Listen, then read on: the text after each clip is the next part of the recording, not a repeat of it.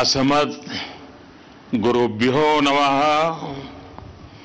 ओम श्रीमते रामानुजाय नमः। कार्यक्रम में हमारे साथ उपस्थित तेलंगाना के राज्यपाल डॉक्टर तमिल साई जी, पूज्य श्री जीयर स्वामी जी केंद्रीय मंत्रिमंडल के मेरे सहयोगी श्री जी कृष्ण रेड्डी जी, श्रीमान डॉक्टर रामेश्वर राव जी, भागवत विभूतियों से संपन्न सभी पूज्य संतगण, देवी और सज्जनों,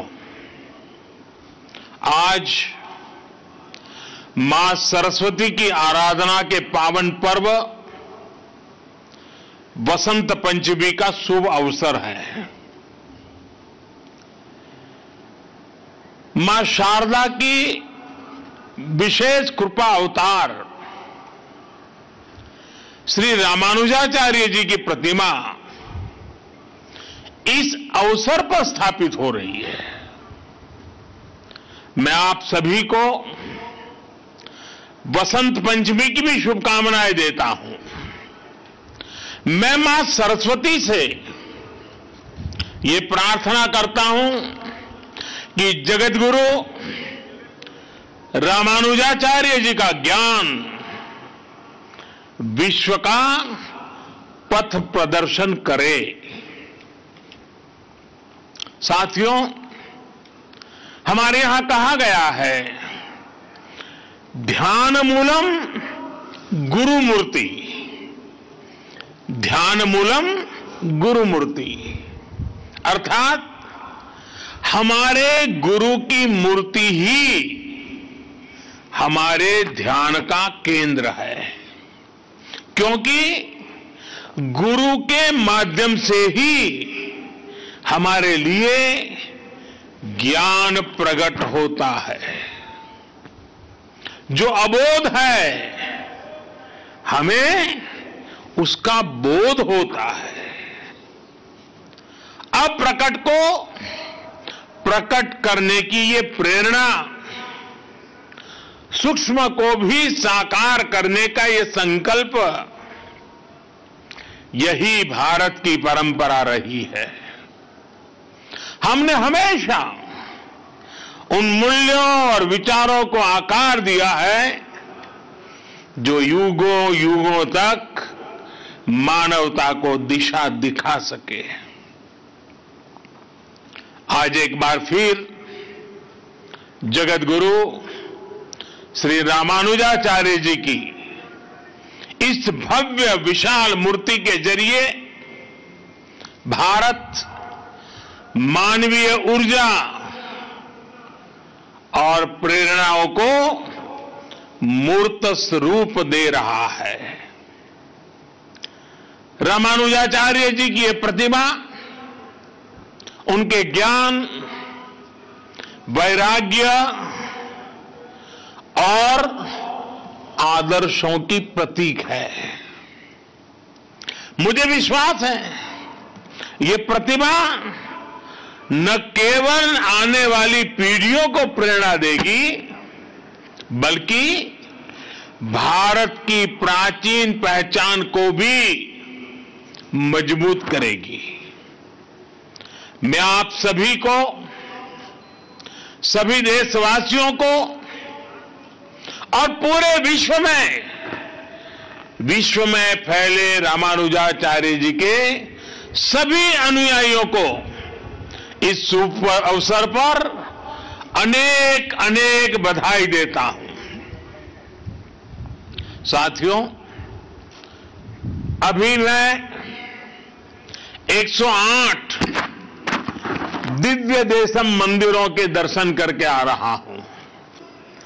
किसी विचार को या तो स्वीकार गया स्वीकार किया गया है, या फिर उसका खंडन किया गया है। लेकिन भारत एक ऐसा देश है जिसके मनुष्यों ने ज्ञान को खंडन, मंडन, स्वीकृति, अस्वीकृति, इससे ऊपर ही उठा करके देखा। स्वयं उससे ऊपर उठे। दिव्य दृष्टि से उस विवाद को देखा।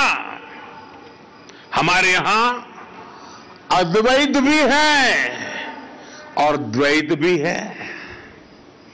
और इन द्वैत अद्वैत को समाहित करते हुए श्री रामानुजाचार्य जी का विशिष्टाद्वैत भी हमारे लिए प्रेरणा।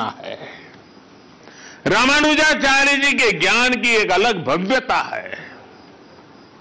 साधारण दृष्टि से जो विचार परस्पर विरोधाभासी लगते हैं, रामानुजाचार्य जी उन्हें बड़ी सहजता से एक सूत्र में पिरो देते हैं। उनके ज्ञान से, उनकी व्याख्या से सामान्य से सामान्य मानवी भी उससे जुड़ जाता है।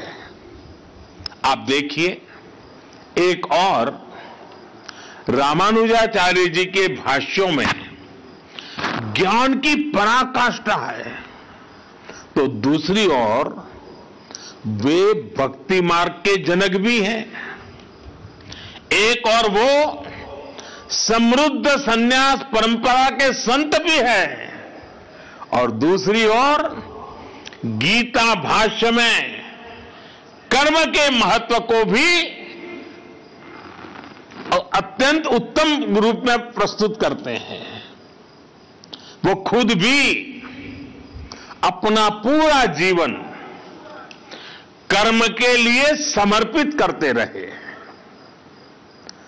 रामानुजाचार्य जी ने संस्कृत ग्रंथों की भी रचना की और तमिल भाषा को भी भक्ति मार्ग में उतना ही महत्व दिया। आज भी रामानुज परंपरा के मंदिरों में थिरुप्पावाई थिरुप्पावाई के पाठ के बिना शायद ही कोई अनुष्ठान पूरा होता हो। साथियों, आज जब दुनिया में सामाजिक सुधारों की बात होती है, प्रगतिशीलता की बात होती है तो माना जाता है कि सुधार जड़ों से दूर जाकर ही होगा। लेकिन जब हम रामानुजाचार्य जी को देखते हैं तो हमें एहसास होता है कि प्रगतिशीलता और प्राचीनता में कोई विरोध नहीं है। ये ज़रूरी नहीं है कि सुधार के लिए अपनी जड़ों से दूर जाना पड़े। बल्कि ज़रूरी ये है कि हम अपनी असली जड़ों से जुड़े, अपनी वास्तविक शक्ति से परिचित हो। आज से एक हज़ार साल पहले तो रूढ़ियों का दबाव, अंधविश्वास का दबाव के बाहर कितना ज़्यादा रहा होगा। लेकिन रामानुजाचार्य जी ने समाज में सुधार के लिए समाज को भारत के असली विचार से परिचित करवाया।